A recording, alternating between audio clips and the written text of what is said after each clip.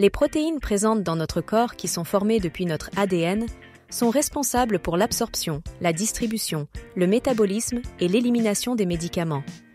Comme chacun d'entre nous dispose de son propre matériel génétique, nous sommes donc tous génétiquement différents, et cela explique pourquoi notre corps diffère également dans sa manière de réagir aux médicaments.